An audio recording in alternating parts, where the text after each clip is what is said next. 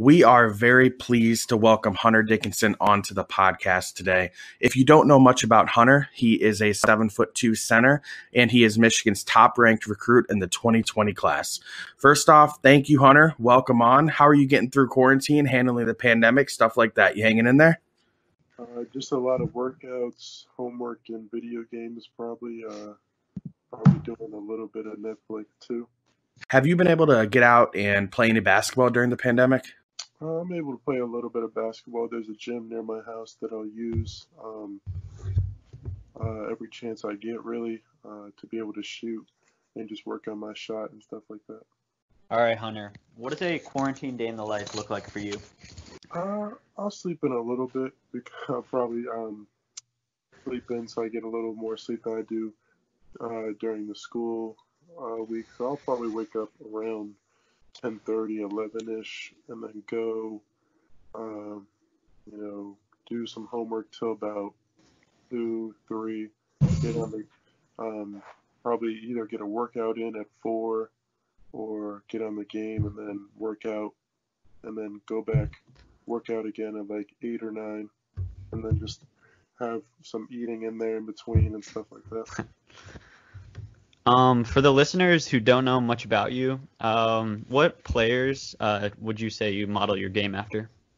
Probably, uh, if it was one player, I think it would be Jokic. I don't really model my game after him, but I just think we play like uh, his kind of versatility within like um, being able to run the offense. I think is something that's really similar to me. Yeah. Gotcha. Um, Hunter, I wanted to talk about recruiting rankings. Um, what do you think about them? Do you pay attention to them? Does it motivate you? Um, you know, during the whole recruiting process, did you really care where you were ranked?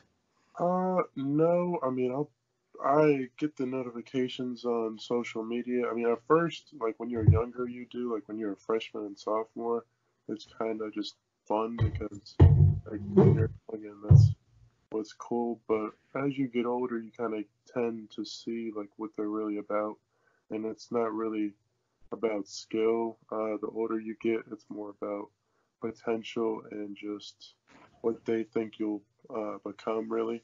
And so most people tend, like most basketball players, tend not to really care about them. Well, we'll actually even make our own rankings among people. I remember at the Skills Academy, we're making our own rankings, and that was pretty fun. What is your relationship with some of the other players coming in the 2020 uh, recruiting class?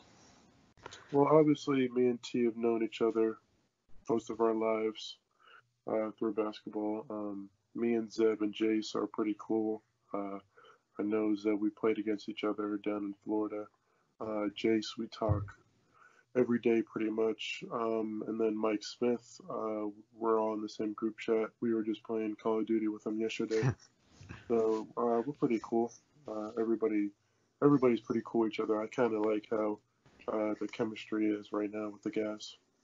Um, Hunter, I wanted to ask you back in January, you got the chance to play Evan Mobley.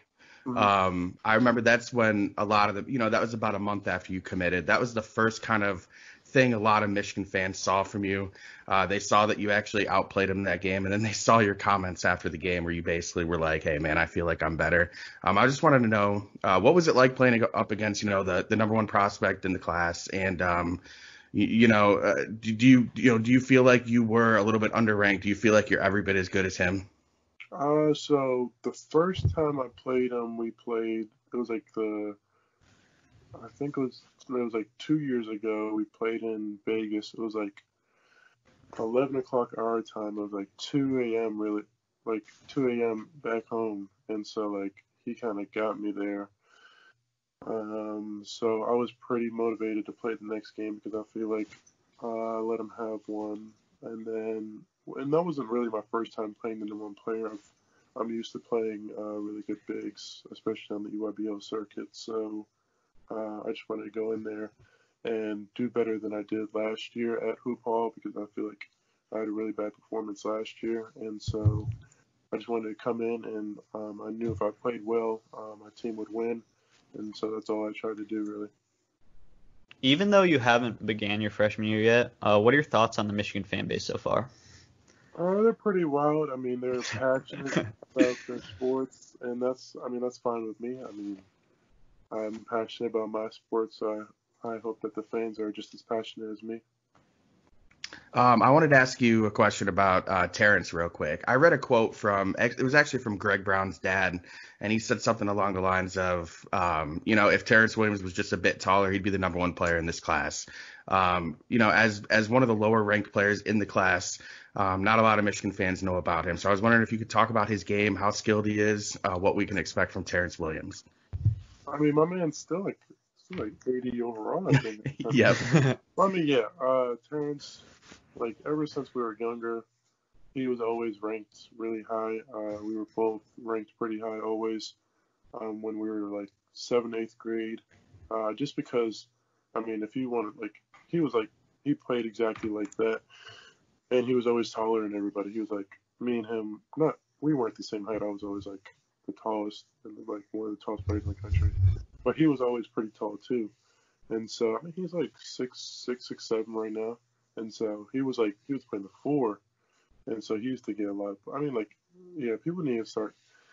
Uh, I guess Terrence is a little bit underrated because he's always been playing like the five at Gonzaga and stuff like that. And then also on Takeover, it's like he's kind of like the shooter, but I mean, my guy can play. He's pretty good. Um, like, yeah, I, I saw that quote about Greg Brown's father uh, saying that if he was like six nine, he'd be the number one player in the country.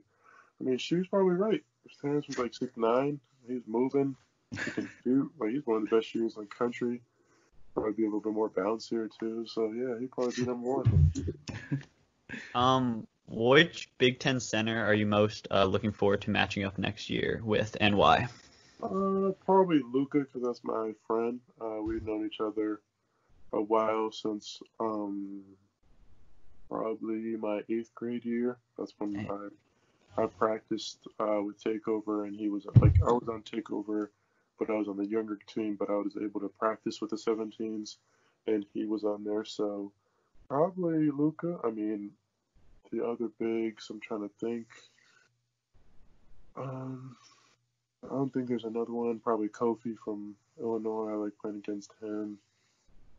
Uh, yeah. I mean, those, those are probably the two that come to mind. Yeah. Um, I, I actually had two questions here. Uh, the first one, I just wanted to talk to you just just briefly about you know the whole Isaiah Todd um, and you know Josh Christopher thing. Obviously, Christopher was never a member of the class, so I'm not sure if you ever expected that or not. But um, was it kind of a bummer to see Todd, um, you know, decommit and then decide to go pro? Uh, yeah, it was a bummer um, at first, but then you know you kind of gotta realize that he's just trying to do what's best for him. I mean it would be pretty hard for any of us to turn down that kind of deal given the yes. circumstances. So I mean, I I don't hold it against him at all. He's gotcha. just trying to do what's best for him. And then um, I also wanted to ask, what is the absolute worst thing about being seven foot two? Uh, I mean, I can deal with the people staring at me. It's, it's definitely in your head because it comes at the worst times usually. Gotcha. All right, Hunter. We have a quick segment of some rapid fire questions we wanted to ask you. Are you ready to go? Yep. Uh, what's your shoe size? 17. uh, MJ or LeBron? MJ. Uh, pancakes or waffles? Uh, waffles. Ooh. Uh, favorite artist? Lightshow. Um, favorite basketball shoe? Ooh, uh, the Ky- uh, Kyrie three. Uh, Coke or Pepsi? Uh, Pepsi products. Okay. Um, favorite TV show? Favorite TV show of all time? Uh, yeah. Uh, Prison Break. Uh, if you could choose, what number would you want to wear uh, for next season? One or twenty-four. Uh, what's your favorite brand of cereal? s'mores? Um, Instagram or Twitter? Instagram. Oh, uh, Chipotle or Qdoba? Oh, Qdoba. Uh, favorite pregame song? Favorite pregame song? Probably East of the River. And uh, this is a most requested question. Uh, do you eat mac and cheese with a spoon or a fork? Oh, fork. Oh. Oh. Um, so I did see I did see that Terrence was pretty adamant the other night during that MJ doc that you know LeBron was uh you know LeBron's the go. Did you guys argue about that at all? Uh, I, I, I don't want to argue with those kind of people. They just they don't make any sense. I apologize. I'm one of those people, but you know. All right, Hunter. Uh, like I said, we were gonna try to get you in and out of here as quickly as possible. Uh, we really do appreciate you stopping in. Um, we can we can do that. You can hop back on with us at any time. Um, I really appreciate it. Stay safe. Uh, we can't wait to see you in Ann Arbor, and just thanks again. All right, thank you for having me. Yep, no problem. Appreciate it.